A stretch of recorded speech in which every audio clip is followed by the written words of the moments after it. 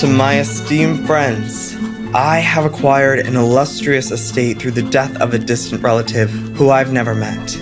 I thought it only fitting that I invite you all to attend a dinner party on its grounds. Telegram from Mr. De La Ghetto.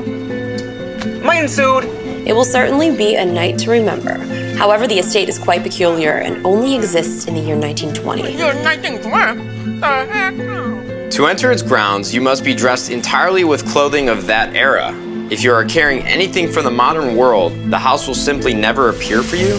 And not only your clothing, but your attitude must reflect the time. I have included your unique characteristics on the back of this invitation. My driver will pick you up and take you on a road that can only be driven by his mysterious time-traveling automobile. Then, almost like magic, place will appear.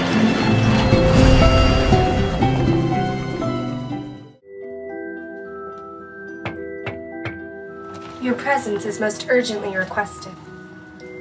Hey! Here you go. Looking like a medieval Girl Scout.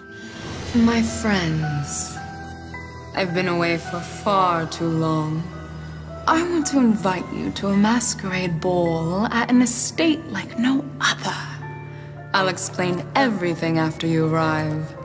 To attend, you must assume a persona reminiscent of the Victorian era and be dressed accordingly, or the carriage, which can bring you across time, will remain invisible to your eyes. A package will accompany your invitation with the proper attire, which may contain a useful object. What's this? There will be people and creatures unique to the estate that know their place, whom you will interact with. You, however, will have no knowledge of what is to come. You will be a newborn babe in this exciting and sometimes frightening place. No, no, no! I am not going to another party by Joey! Not today, Satan! Last time, eight people died. Worst house party ever.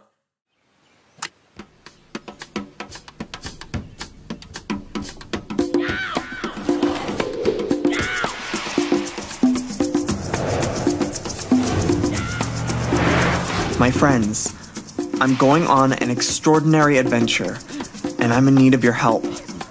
And so are hundreds of others. Please allow me to introduce myself. I'm a man well